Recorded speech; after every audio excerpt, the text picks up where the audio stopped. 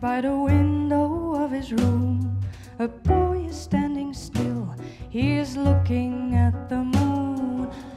I dive into my ocean, cold water touches all of my fear.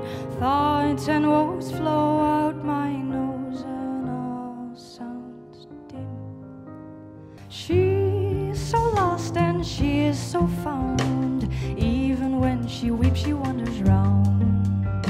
To water with tears flowers she will adore.